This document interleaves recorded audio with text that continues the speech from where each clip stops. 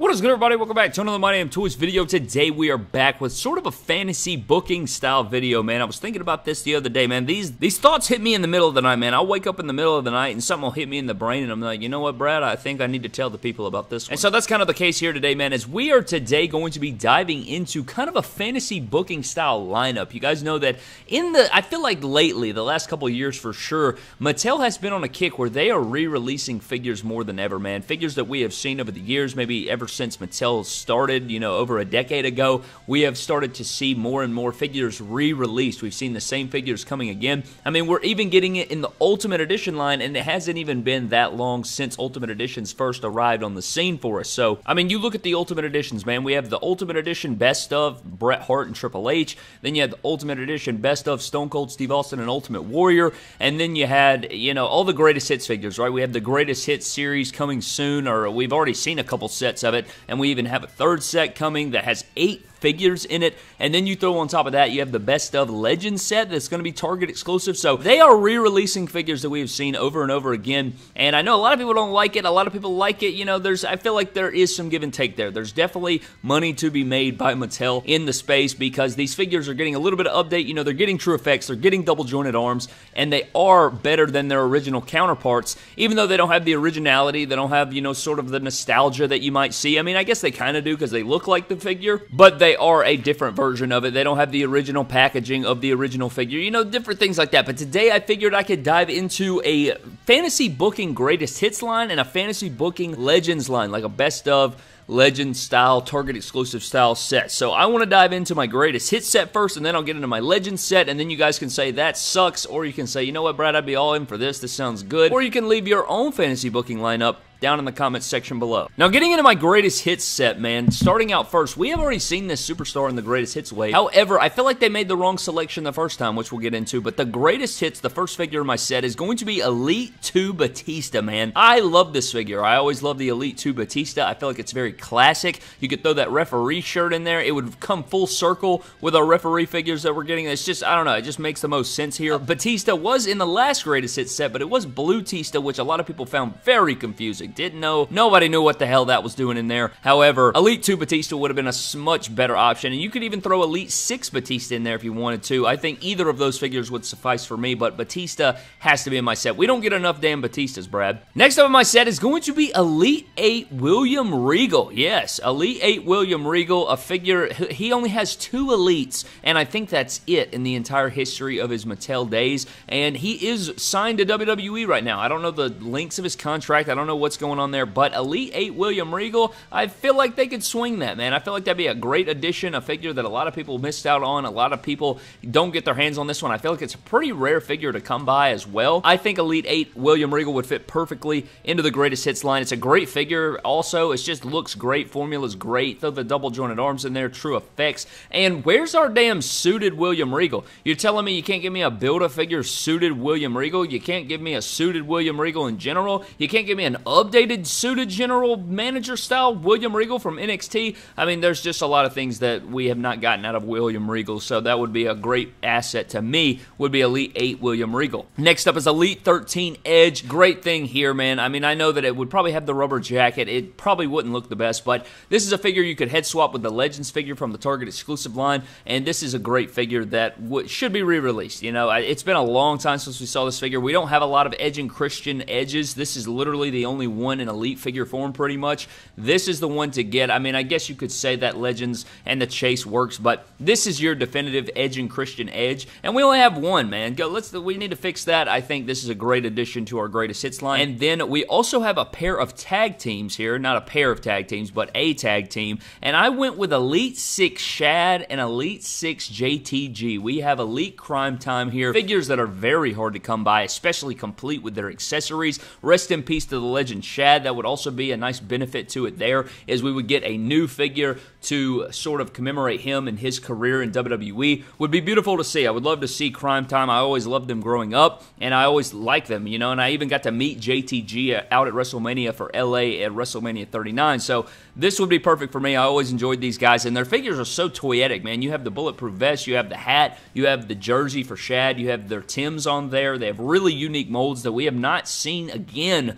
on these guys. So this is a no-brainer for me to have these guys in there. And they even had a battle pack at one point, but these guys need new elites, man. These guys need new elites, and I know, again, it's all about the deals and who they can do and stuff like that, but I feel like they could swing that, man. You can't tell me they couldn't do a greatest hits elite gr- Cryme Tyme figures to pair in our greatest hits set. This would be a no-brainer for me, and I only put six figures in the set. I felt like eight is a bit much when you're talking about greatest hits, so I only have one more figure remaining in my greatest hits line, and that is going to be the defining moments John Cena, the first version, not the second version. The second version was dog just dog garbage, man. Dog water garbage, awfulness.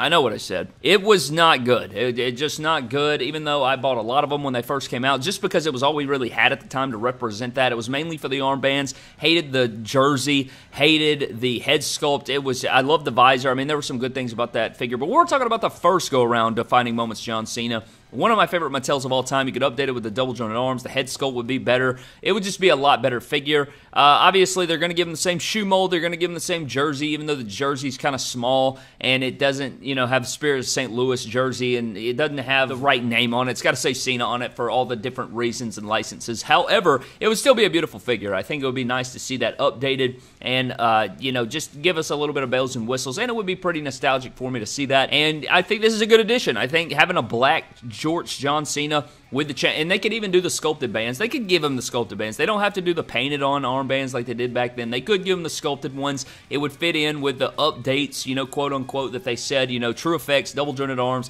sculpted on gauntlets or wristbands could be a swing. But let's dive into my legend set, man. That's my first greatest hits line. My greatest hits line is Elite 2 Batista, Elite 8 William Regal, Elite 13 Edge, Elite 6 Cryme Tyme, and Defining Moments John Cena. Now, in my Legend set, now in my Legend set, I would have the Defining Moments Triple H to start off my set. This is a no-brainer, man. You go back and look at this figure. This is one of my favorite Mattels of all time as well. Great head sculpt, great cloth goods. The jacket on this thing is insane. The sleeveless shirt is insane. He even came with jeans, and he had the iconic gear underneath which we have never seen before on an elite figure again. They could have done they could do this in an ultimate edition redo. I think there's so many options there, but this figure is a no-brainer for a re-release of some kind. Whether it's in the ultimate edition line like upgraded with interchangeable jacket arms and like blue jeans shorts, I don't know. There's definitely ways you could do it. However, the defining moments Triple H is absolute money. It, it's just a no-brainer for me. Just had to be in my set. Next up is ringside exclusive Stone Cold Steve Austin. Now this one's kind of good because it's not too too crazy. It's just a repaint of the vest.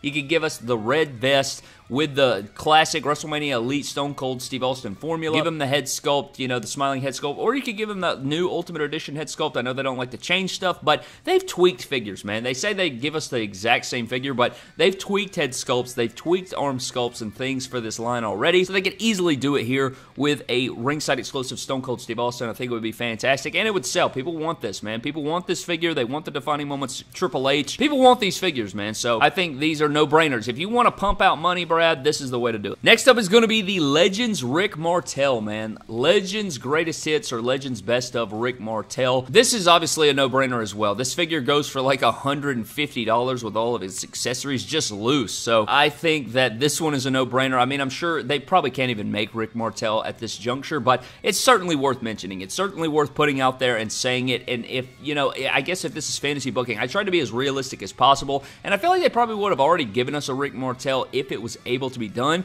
but I figured I'd throw them in here. I mean, you're looking at a smash hit set right now for my Legends Greatest Hits wave or my Best of Legends set. This Rick Martel figure easily needs a redo. And just like my greatest hits wave, we are throwing it back to another tag team style here in my Legends Best of, and I went with the Hall of Fame 4-pack Hall and Nash, so both of the figures in the jeans. I think that these would be great, and you don't really have to pick these versions of the guys, but I mean, you have Elite, Elite 16 Kevin Nash. You could do the ringside exclusive NWO Scott Hall. You could do the other ringside exclusive Kevin Nash. There's so many options. There. They've obviously made multiple Scott Halls, multiple Kevin Nashes that could be remade, but I still like this as an option. And I know a lot of people are going to say, you know, like all these exclusives, but they've had plenty of exclusives that have been included in these Legends Greatest Hits lines. And I think these are two solid additions, man. And then my last figure, which is completely realistic of Mattel, but I did throw this one in there, man. The American made ringside exclusive Hulk Hogan. And I don't think Ringside Collectibles is probably going to really want two of their ringside exclusives here, but they're two figures that are highly sought after, and I think they would easily make this. And even if Hulk Hogan Hogan isn't in the light blue. Like, obviously, we got the Rip figure, but I think they could easily do the Hulk Hogan in the blue trunks. And that is one that I'm actually missing. I'm missing that Hulk Hogan, so I would go with American-made Hulk Hogan ringside exclusive. Had so many opportunities to order this figure, and now, you know, I obviously, I did the same thing with the Defining Moments Hulk Hogan. I passed on it forever at my Kmart. It was shelf warming like hell. Same thing with the Razor. I ended up getting the Razor later on down the line, but so many different opportunities, and I think I've owned the figure multiple times as well,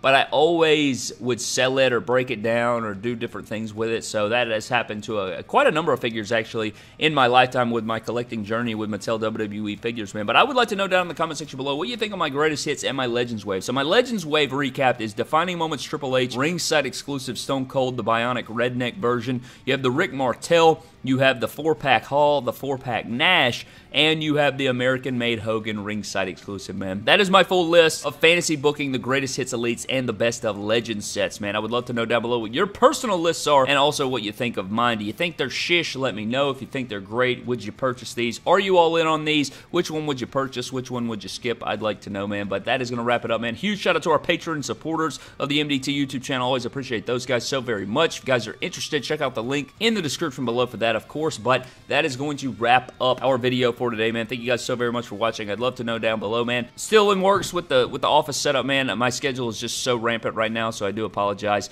for that. Soon we will be back fully in the office with everything set up, and I can't wait to do a, an updated room tour and things like that. Got to get some shelves got put up, got to get some different things going on, but it should be worth it when it's all said and done, man. But I'm getting out of here, man. Thank you for watching. Subscribe to the channel. Follow me on Instagram, Twitter, and TikTok at My Damn Toys. I'll catch you guys later. Have a blessed one, and I'll see you later.